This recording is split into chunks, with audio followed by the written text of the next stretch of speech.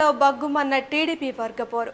మంత్రి అద్దాల వర్సెస్ కన్నబాబుల మధ్య జరిగిన రచ్చ తారా స్థాయికి చేరుకుంది. దీంతో నెల్లూరు జిల్లా టీడీపీ వర్గ కుమ్ములాటలు తారా స్థాయికి చేరుకున్నాయి. ఆ పార్టీ కార్యాలయం వద్ద మాజీ మంత్రి ఆదాల ప్రభాకర్ రెడ్డి టీడీపీ ఇన్ఛార్జిగా నియమించడంపై ఆ పార్టీ నేత కన్నబాబు ఆమరణ దీక్షకు పూనుకున్నారు.